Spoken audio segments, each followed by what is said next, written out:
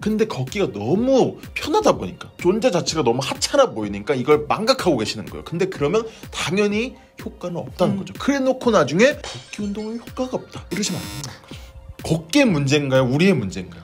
자, 우리가 운동을 하기가 싫어요. 아우 너무 싫어. 요즘 너무 싫어. 그리고 운동을 처음 하기에 겁이 나는 분들도 있죠. 근데 그런 분들이 가장 접근하기 쉬운 운동이 뭐가 있죠? 걸어요. 그렇죠. 걷기예요. 많은 분들이 다이어트를 하면서 나는 너무 이렇게 빡세게 운동하는 거 싫고 그러다가 다칠 것 같아가지고 난 처음부터 걸어 다닐래. 응. 그러다가 좀 익숙해지면 다른 운동 하면 되지. 근데 옆에서 어떤 분들이 뭐라고 하죠? 보통? 그거 하면 되겠니? 걷는다고 살 빠지면 이 세상 모든 사람들이 살 뺐다 야 쓸데없는 짓 하지 말고 그냥 헬스장이나 끊어 근데 제가 오늘 정확하게 말씀드릴게요 걷기 운동은 살이 빠집니다 오. 걷기 운동 효과 있습니다 오. 근데 그렇다면 왜 모든 사람들은 걷기 운동으로 살을 빼지 못할까? 이유까지 알려드리겠습니다. 이거 좀 솔깃하네요. 왜냐면 요즘 날씨가 워낙 좋아서 제가 조깅을 하러 밖에 나가요. 한 시간을 조깅을 뛰겠다라고 마음을 먹으면 한 10분 뛰어. 50분 걸어. 그렇죠. 한번 가보시죠. 자, 일단 가장 기본적으로 걷기 운동은 지방을 태우면서 살을 빼는데 다이어트에 도움이 됩니다. 효과가 오. 있습니다. 일단 걷기가 뭐죠? 유산소 운동이에요. 음. 유산소 운동은 뭐죠? 살이 빠진다. 이 유산소 운동이 왜 살이 빠지냐? 옛날에도 말했지만 심박수 그리고 그 심박수가 어느 정도 일정 기간 계속 유지가 되면서 지방을 더 많이 태웁니다. 음. 운동 측면으로 제대로 운동만 한다면 걷기가 뛰는 것보다 더 낫다는 연구 결과들도 있어요. 음.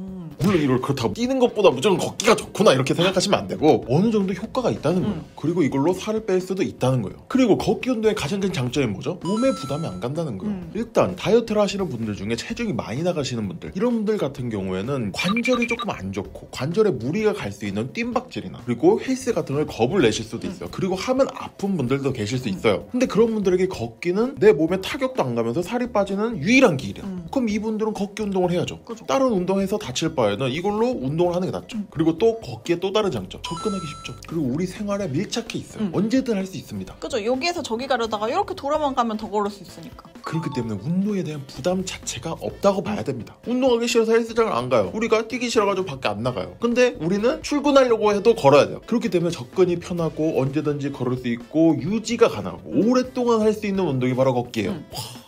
와, 대단하지 않습니까?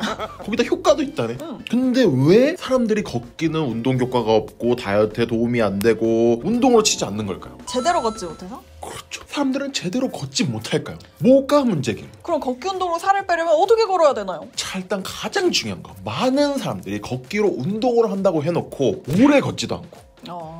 자주 걷지도 않고 빠르게 걷지도 않아요 잠깐 동네 한 바퀴 설렁설렁. 막 50분 거리도 아니고 10분 거리 잠시 5분 거리 잠시 나갔다가 어, 왜 저런 살이 안 빠지죠? 5분 뒤에도 살 안 빠져요 5분 헬스한다고 살 안 빠집니다 걷기의 문제인가요? 우리의 문제인가요? 걷긴 죄가 없어요. 걷긴 죄가 없습니다. 헬스도 어느 정도 무게를 해줘야지만 우리 몸에 부담이 가서 운동 효과가 있을 거 아니에요. 걷기도 똑같아요. 정말로 우리 몸에 부담 없이 정말로 유유자적하게 걸어다니면 어떻게 되겠어요? 우리 몸이 그걸로 가가지고 지방을 태우고 싶겠어요?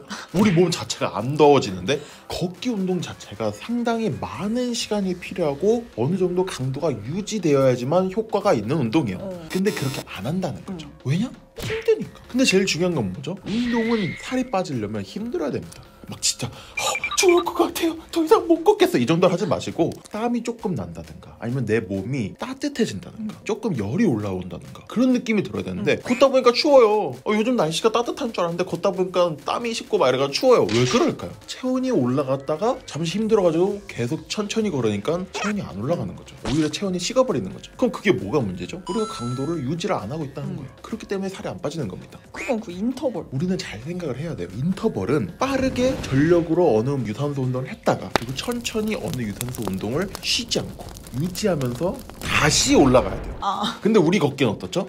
빠르게 걸어요 처음에 운동해야지 하면서 빠르게 걸어요. 그러다가 힘듭니다. 이러다가 이러고 50분 걷습니다. 이러고 50분 가서 집에 가서 아 오늘 운동 너무 잘했다. 뭐 하시는 거죠 지금?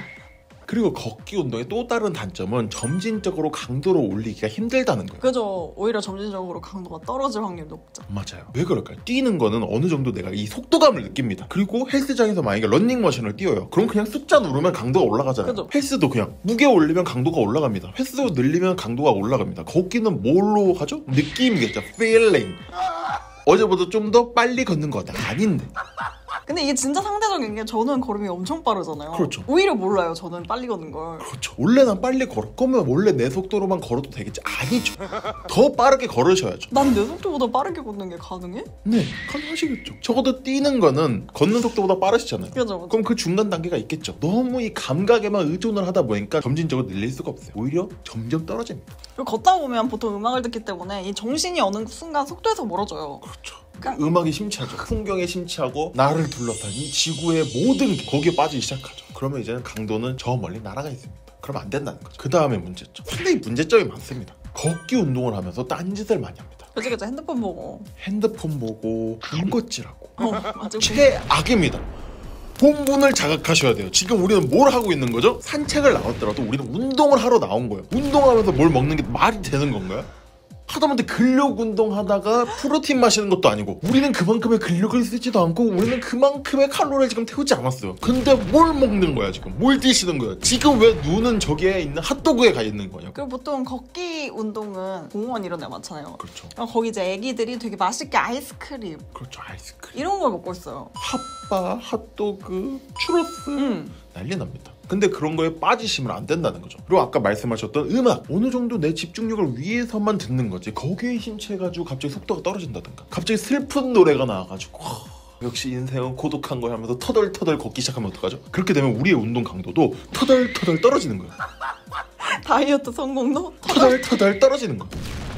제일 중요한 거는 우리가 지금 운동을 하고 있다는 그 자각을 하셔야 돼요. 음. 우리는 지금 산책을 하고 있고 가벼운 운동이라도 운동을 하고 있는 거예요. 음. 그 운동이기 때문에 우리는 점진적으로 늘려나가야 되고 딴짓 하지 말고 그 강도하고 그 시간을 지켜야 된다는 거죠. 근데 걷기가 너무 편하다 보니까 존재 자체가 너무 하찮아 보이니까 이걸 망각하고 계시는 거예요. 근데 그러면 당연히 효과는 없다는 음. 거죠. 그래 놓고 나중에 걷기 운동은 효과가 없다. 이러시면 안 되는 거죠.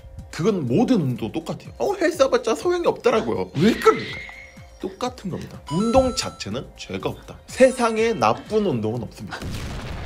새나운. 네. 자 그럼 여러분들은 걷기 운동을 해보신 적이 있으신가요? 경험을 댓글로 공유해 주시면 좋을 것 같고요. 자 여러분 오늘 영상이 도움이 되신다면 좋아요, 구독, 댓글까지 부탁드려요. 빠이!